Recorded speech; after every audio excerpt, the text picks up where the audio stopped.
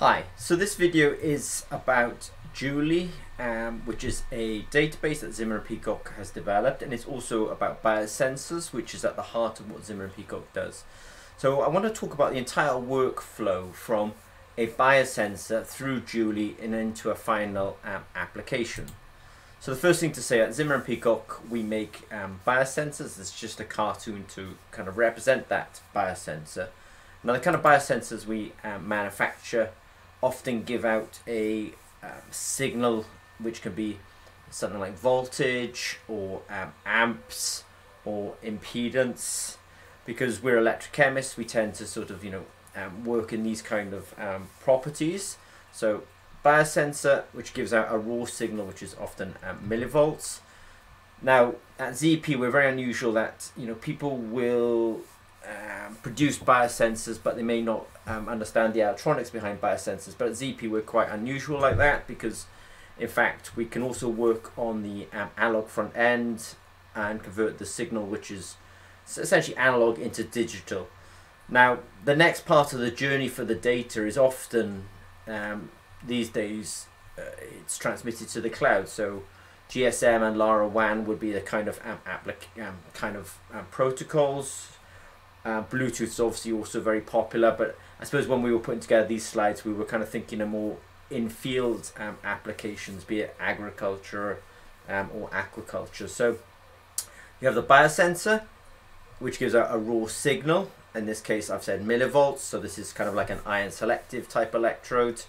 And then there's a conversion of the millivolts into um, into a digital um, output and then that is actually transmitted, as I th say, through um, the mobile phone network or potentially through LoRaWAN. Now, what makes starts to make ZP very different is, you know, there are companies that do biosensors and there are companies that can do the electronics. Um, and then there's other companies then that are sort of, you know, we'll talk about the sort of um, the cloud database part of this. But ZP again is different that we've actually got the um, something we call Julie.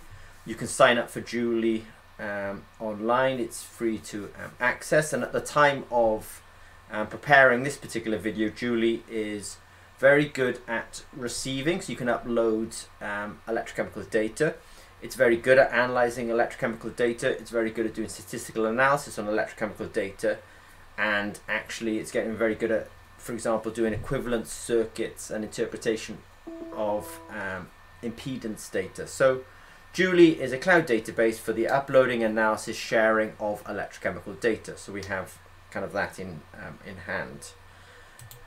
Now what Julie is allowing us to do then is to sort of essentially process data which originated as electrochemical data.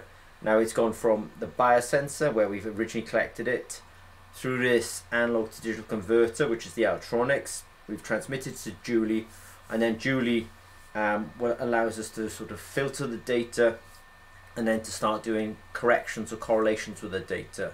Um, so things like temperature, humidity. Now Julia also has the capability of receiving data from other sources. You know, so we can have our biosensor data coming in there, which is the kind of heart of what we do at ZP. But sometimes you want to correlate um, biosensor raw data with um, metadata you know, so in the examples of agriculture and aquaculture, what was the air temperature at the time, or what was the humidity at the time? So Julia starts to allow us to um, amalgamate these data sets and start to look at, at correlations between these data sets. Now, the end user, um, the real person, be it a farmer or be it the um, you know the um, the fish farmer be it you know it could be a medical application. They don't want to see this raw data. So um, and also I suppose this also talks to um, food technologists who could also be using this kind of data. Um, so what we have is we have an API that will actually take the data from Julie and then put it into a um, a graphical user interface or a, new a different app. Um, and this app could be either be under our control or it could be one of our partners apps but essentially Julie, you can take the data and the manipulation of data from Julie and then start porting it into um, third-party um, applications where the data is sort of delivered as information in a more meaningful way.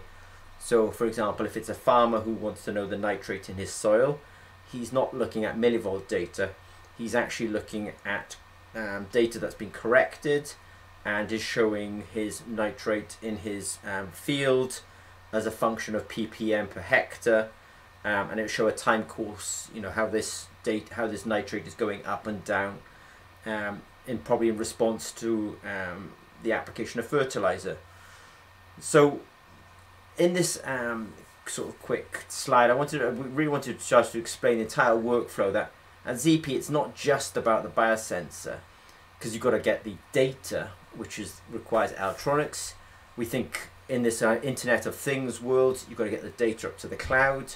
We then have a cloud to receive the data and to manipulate the data and to maybe amalgamate that data with um, data that's available from other sources. And then finally, using APIs, we can move it into a third party um, product where the data can be kind of displayed to the end user in a way that's sort of more meaningful really display the data as information upon which the user can then um, interact. So just wanted to make this video to kind of explain ZP is really part of the entire workflow from, from raw signal through to actionable information.